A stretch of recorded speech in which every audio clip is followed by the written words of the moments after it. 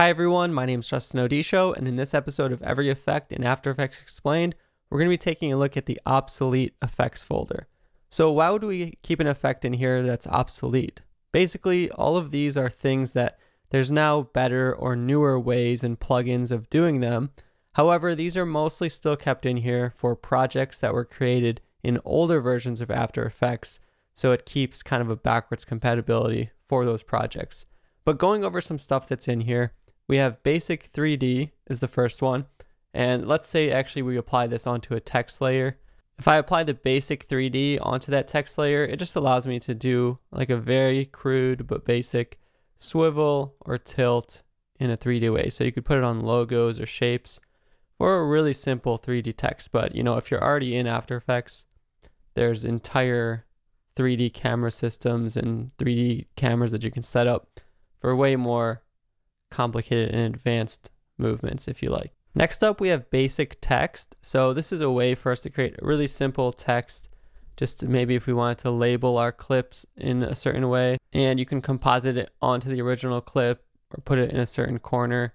Next up, we have color key. So this is a way to key out a certain color, like a green screen, for example, or let's say I wanted to key out the blue of this river and increase the color tolerance, etc. It works just like many of the other keying effects that we've seen.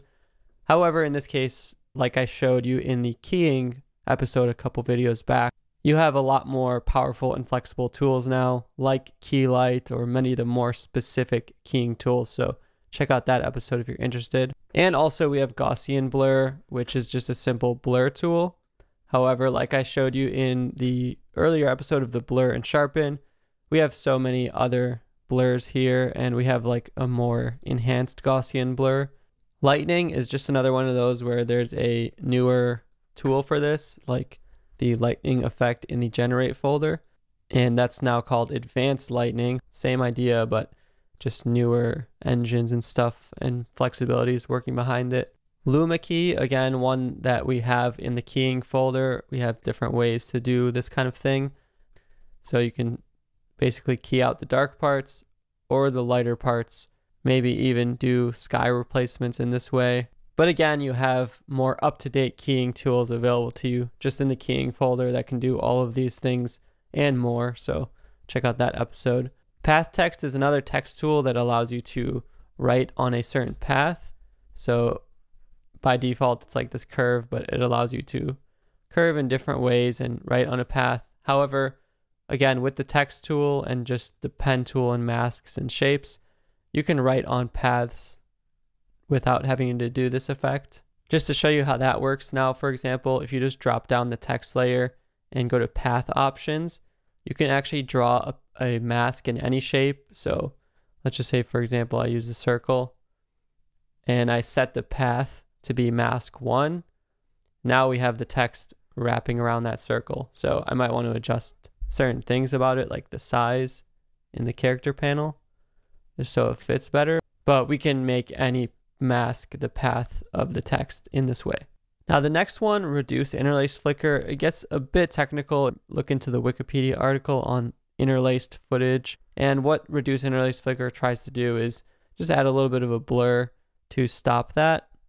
But I believe now interlacing is kind of becoming obsolete and interlaced footage can also just be interpreted in the project menu where you can right click and interpret the footage and you can choose different ways to give priority to certain fields. And lastly, we have spill suppressor. So kind of like we saw in the keying episode, this will try to suppress a certain color from spilling out across the clip.